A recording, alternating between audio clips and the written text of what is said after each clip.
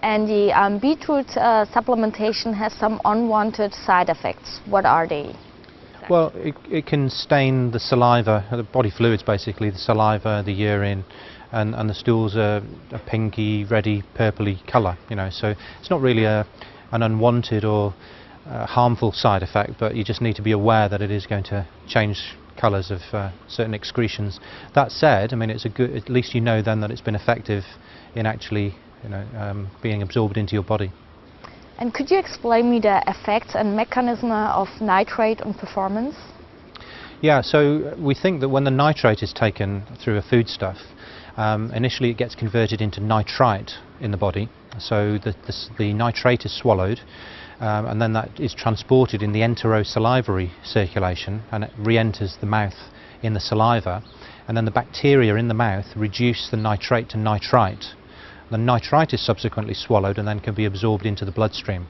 So the plasma nitrite concentration is increased following beetroot juice or other forms of dietary nitrate supplementation and the nitrite is then transported in the blood and can be broken down further into nitric oxide uh, in, areas where it's most needed.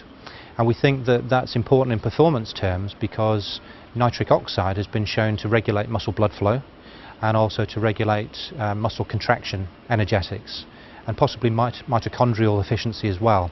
So there's a number of reasons by which nitrate, by, by, you know, as long as it's turned into nitric oxide, could be uh, useful to physiological function and to exercise performance. And what's your practical recommendation to athletes to, to use the supplement? Well, we're still experimenting with the appropriate dose in order to get the maximum response. The studies that we've done so far involves the consumption of around 6 millimoles of nitrate.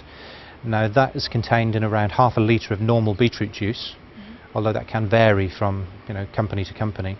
Um, but it is possible now to buy beetroot juice shots, which are a concentrated form of beetroot juice, mm -hmm. which contain the same amount of nitrate but in a reduced volume of fluid. And the important thing is that the nitrate is consumed about two to three hours before exercise is commenced because that gives sufficient time for the nitrate to be converted into nitrite.